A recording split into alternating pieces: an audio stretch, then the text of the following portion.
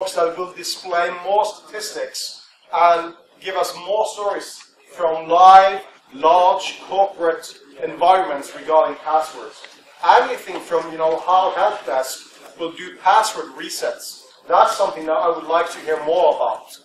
I do know a lot of help desks, as an example. Let's say, if you call them and say, oh, you have lost your password, they will actually send you a new password to your manager, and you have to go to your manager to get your new password, as an example. I've seen that many, many times in different countries. Do you trust your manager?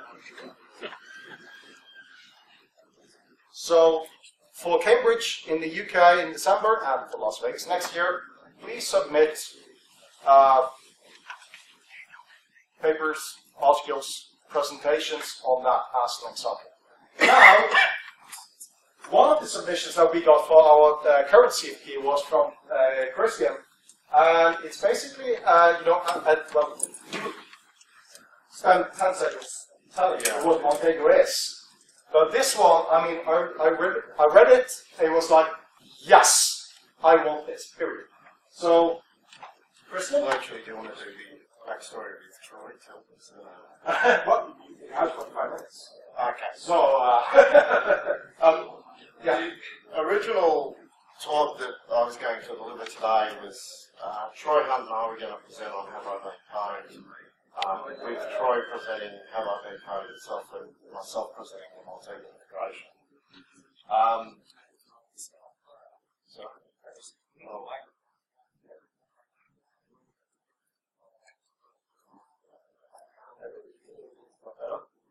what? Too high still. yeah. Okay. Now we're cooking.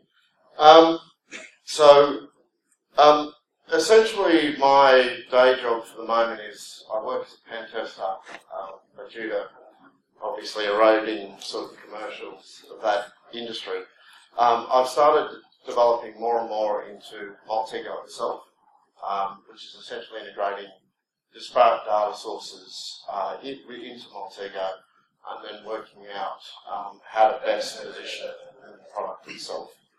Um, so I've done this for a lot of companies. Um, I've developed transforms for Facebook, uh, for Instagram, um, for Gravatar, which takes a person's email address, converts it to an MD5, um, and then essentially associates a profile picture uh, with that email address. Um, recorded future, um, and the most recent one I'm doing is the Redact um, web application, which basically takes Chinese and European, any sort of competitors on piece, and runs them over your um, your web logs, um, and it's essentially used for data leakage and all that kind of thing. Um, I've developed transforms in both Canari, uh, which is a third-party sort of uh, rapid application development framework, um, as well as the, the transform sets that are available for the preserver themselves. Um, pretty much everything that I develop is available for free. Um, and you can go to GitHub, look at my repository, and just search on Maltego and find a whole ton of free sort of configuration files and any other documentation that you apart from that. Um, so the agenda for today is largely to just discuss the integration of the APIs themselves from three vendors um, have I been pwned breach alarm and Abusix? Um, have I been pwned, as I mentioned before, is Troy Hunt's, um, I guess you could say, pet project. Um, he doesn't really commercialise it um, and sort of put it together to learn about Azure itself, um, but he's recently started to um, APIs and that kind of thing. So if you run a, like a identity service, you can search people's email addresses and it can tell you now when they're actually compromised. But he also offers a lot of uh, alternatives that cost next to nothing. So if you type in your own email address, it will send you back a, a breach uh, email address email from there. Um, breach alarm, so we've they've offered an API key to me uh, that allows me to support the free API endpoint, uh, which is to the breached emails endpoint, and Abusix, which whose API and the leaked database is currently Don't worry about the message. Um, is currently free. Um, I'll also cover the configuration itself for Maltego, um, and I'll present a couple of case studies. Um, the case study that I'll present today is on uh, Atlassian. Um, we do make a lot of developer tools. It originally started as a joke, um, but if someone else wants to put forward another example, I'm quite happy to uh, to look at doing that. Um, I guess I should cover what Maltego is first. Um, so up on the screen here, um, I have Maltego, and um, essentially the power of it is this view here, which is a bubble view. Um, so if we look at a, a main view here, what we basically have is uh. Uh, email addresses on the top, um, which then feed into a, uh, a post pasty. So if we're interested to visualize this to which one of those two pastes is the most popular, we switch it over to bubble view, um, we select one, and then we say, okay, I've selected this paste, which one are the um, the email addresses that are applicable into that post. And what we find here is that it selected all the um, it selected all the email addresses that have come through. We select the lower one and select the parents from there, you can see that we've actually identified because the bubble itself is slightly smaller, um, that it has less email addresses incoming to it. Um, so what it's essentially used for is uh, link analysis, um, but it also provides a an XML document format which you can use uh, to basically um, use a web service. So you don't need to continually push out new code changes to the end user. Um, the end user can just pick those up automatically. So the first one I'll cover is is have I been pwned? Um, so what we have, or what I have done with this one is I've integrated all the latest release um, API version 2 endpoints into it. Um, so this is the getting all the, the, breaches for an account.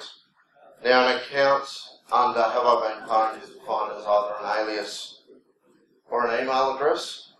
Um, we can also get all relevant pastes to uh, Ghostbin, Pasty, Slexy, um, etc., etc., um, where an email address does appear. And we can also get a single breach site itself too.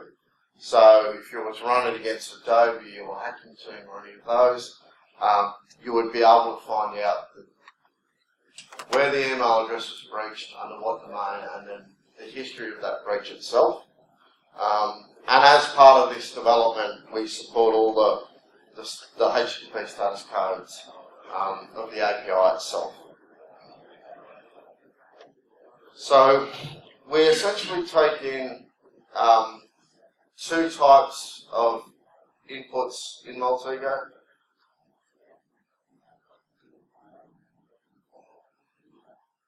The first one being the, uh, the email address, uh, which is the one down the bottom here, um, which I'll just zoom in onto. Um, the examples that I'm using are taken from the API documentation itself, so they're already publicised and well known. Um, in addition to that, we have a number of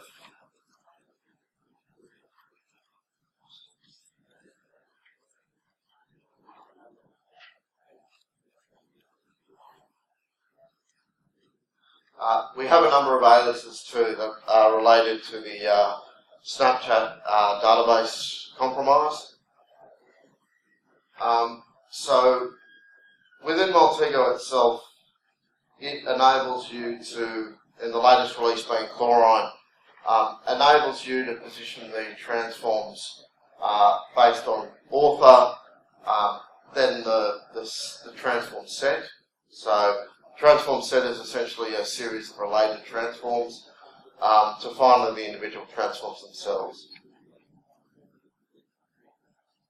So in this case, for aliases, we can run uh, the breached uh, accounts endpoint against it. So which I will do now. Okay. So we get two entities returned from there. One is a just a generic entity uh, which is the um, which essentially allows you to select entities based on if you're using all three uh, providers of information in terms of their API, have I been pwned breach alarm and Abusix. Um, you can select these individual um, boxes and then if you're an API provider, essentially do a quality assurance on on um, your own API itself and what your data set is. Now, as you've probably guessed by what was up the top here, um, so we're related to the Snapchat database one. These aliases have all appeared within Snapchat itself. Okay, and so as a, an investigator, what I would like to investigate is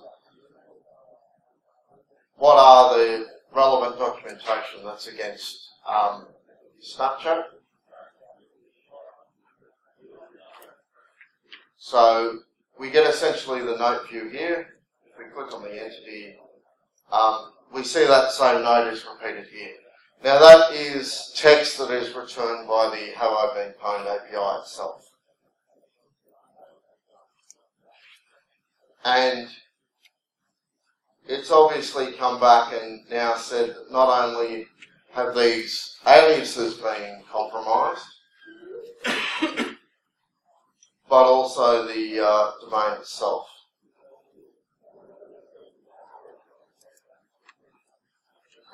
As you can see all those that have been selected.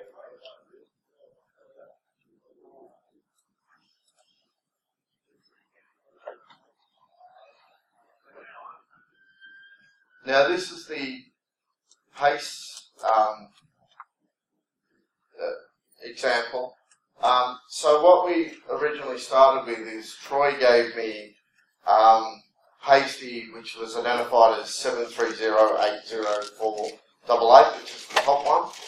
Um, so what I had essentially done is run all those email addresses that were in one paste against another one um, and it's returned uh, Pasty ID 730 um, 8044098. Now, as you can see, in terms of the view itself, the ones that are pointing into this uh, 7308049 pasty are not the same uh, post to pasty that was the one above. So, if you were investigating an incident uh, or performing incident response, you wanted to essentially contain a disclosure. Judging by the fact that a lot of breaches are reposted to pasty, pastebin, ghostbin, uh, QuickLeaks, all that continuously, you could pretty much work out that you might want to get a copy of, of both of these pastes because they might indicate that you've been breached at different times and the data's been coming through. Um, now, as one final thing, um, what Maltego can do is it will actually automate all of this for you. Um, so I've created two Maltego machines. Now, essentially what these are is that they take an input entity and they will do the a breach transforms for you. And then if it returns a domain name, it will also check the uh, have I been pwned records for the domain name itself. So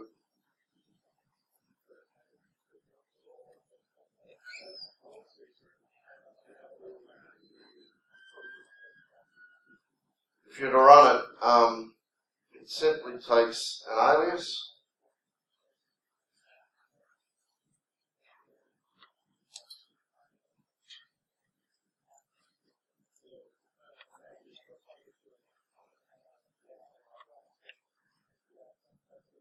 Somewhat struggles, and I'm not sure why it actually does this. The live demo troll. No, uh, well. This goes back to Daniel Cutler um, for those of you who are wondering, these demos are actually uh, running from a HP Stream 11, which is like the $200 laptop um, that you can buy. Um, but anyway, uh, moving on, um, that essentially runs the transforms that are applicable to the email entity first, and then to the domain entity that's returned. Um, so I'll come back to that one to actually show you um, that it's executed and all that. Um, but just to move along, um, there is one other final thing.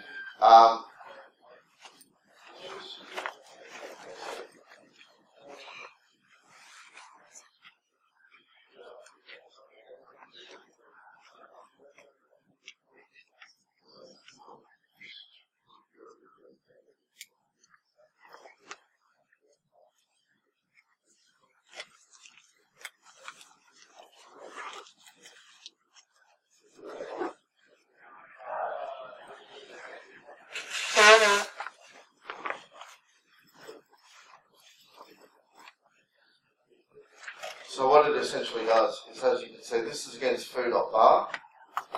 So foo.bar has appeared in these um, pastebin posts, and in addition to that, um, it's been used in these various breaches. Now, so that's the first run of what the machine does.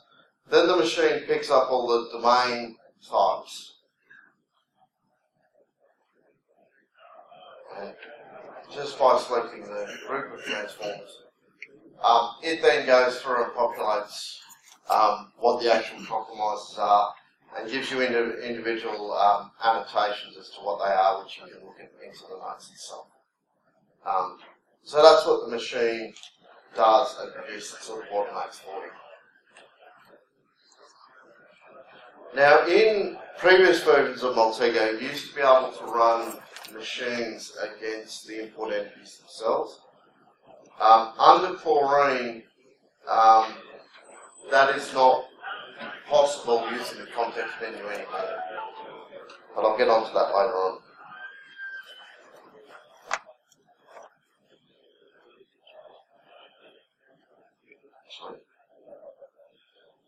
Um, the other thing is too, with um, Have I Been Pwned, there is a account deep link. So when Maltego produces those results, if you go to the detailed view, it will produce a deep, uh, a deep link back to Have I Been Pwned. So you can send that link to an end user, and Have I Been Pwned will actually render um, on their web application itself.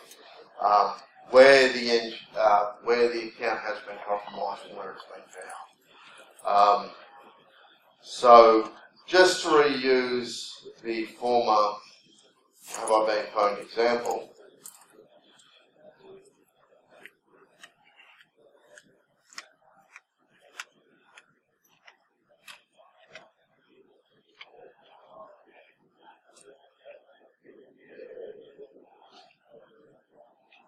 So we just run it again.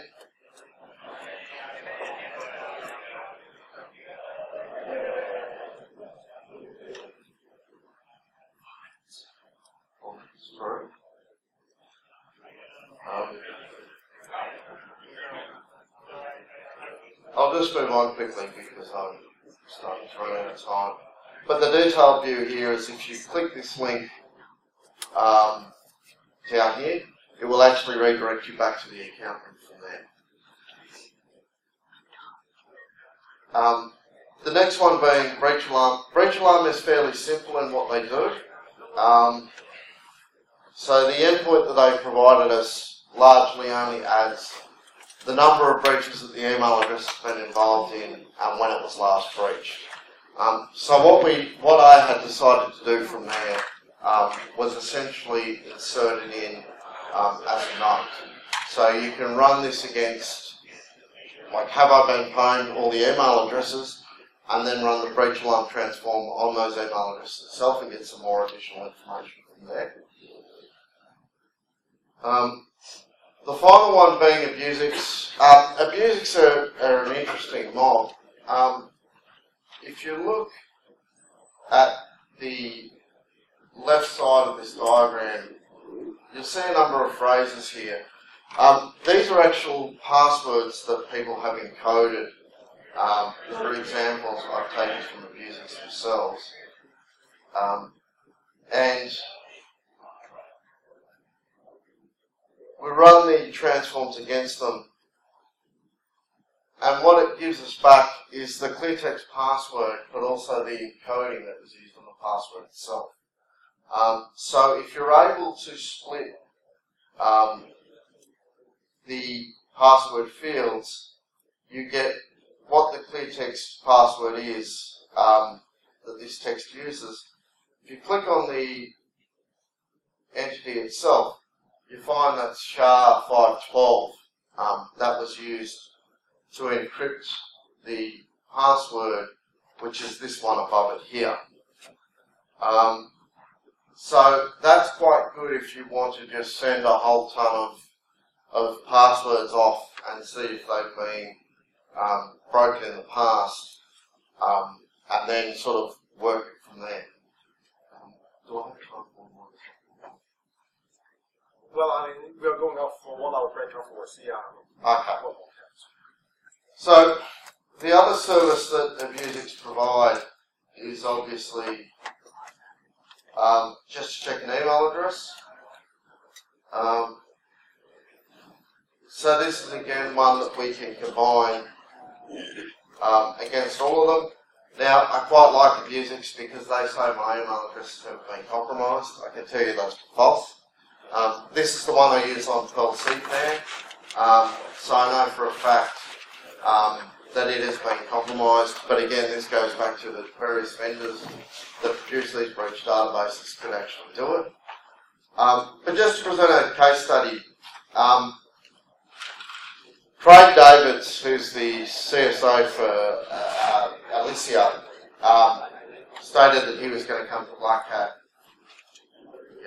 um, so just as a bit of fun, I said to him, well, we would look at what Atlassian had done in terms of um, if they had been broken into, and these are generally the cases as to what you would actually use them for. So you can see we start running the transforms there. So we start kicking them all off in one go. And this is what it looks like um, if you're actually running all three use cases um, or all three APIs against the email address itself. Now, as you can see, Craig himself here is not compromised, so that's obviously a good sign. Um, but as we get down to here, we find that breach alarm has listed some of these email addresses as breached. So obviously to find out which ones those are, um, we click on the, the child entity and then select parents, um, but we find that they are both listed at, um, uh, as part of the Adobe breach um, and the Hacking Team breach. So that's essentially what you could use to run it against your entire um, Active Directory list, that kind of thing, um, to work out quite quickly where your breaches are, or if you've got any breaches that are coming on board. Um, tomorrow at Black Hat, I'll actually be demonstrating how you can use it as a timed machine. Um, so essentially, it runs every hour, um, so you just don't end up hammering the, the Maltego transport server. Um, does anyone have any questions or just? I'm just wondering for any of these sorts of queries into the system, uh, are there any ways of doing so in a privacy protecting manner that is could I ask about my email address without letting you know email address?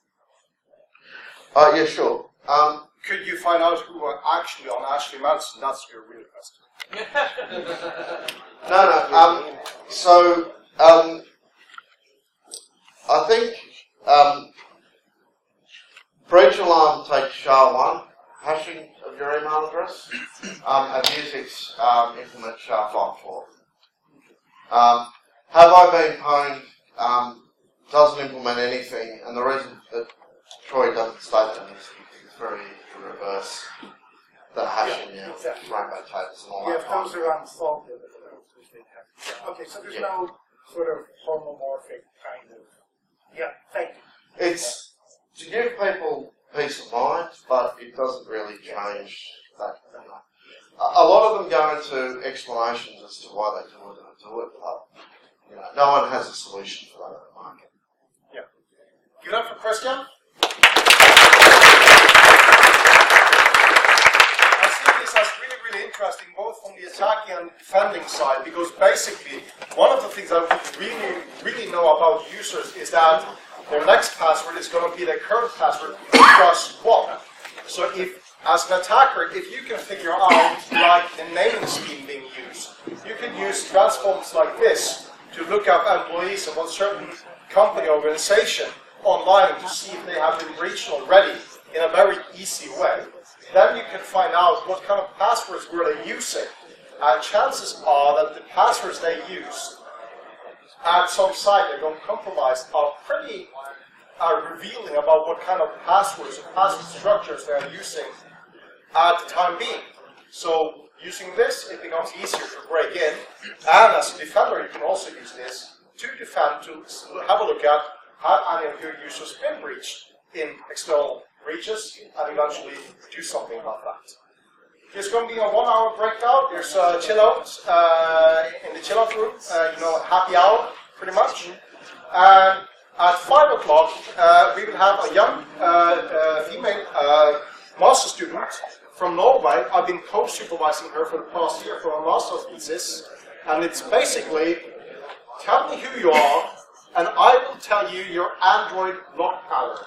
It's a cool talk. So be back at 5. See you then.